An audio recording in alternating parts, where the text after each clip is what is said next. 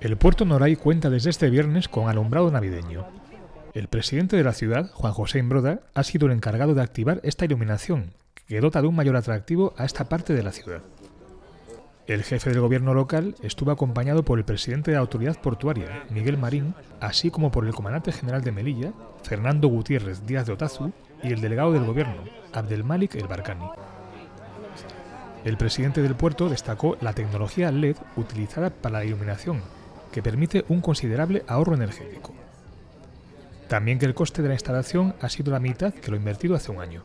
Como ya teníamos la inversión realizada del año pasado, pues este año tan solo hemos tenido que pagar el montaje, que en este caso pues ha sido un 30% más barato y nos eh, ha costado 7.000 euros. Es decir, que este año vamos a tener la luz, todas las luces de Navidad del puerto deportivo por tan solo 7.000 euros.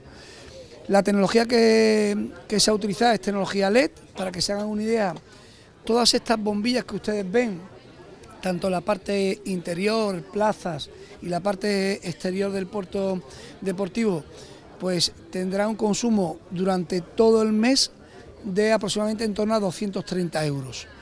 Eso quiere decir que se ha utilizado también la mejor de las tecnologías posibles para tener también el mayor ahorro posible.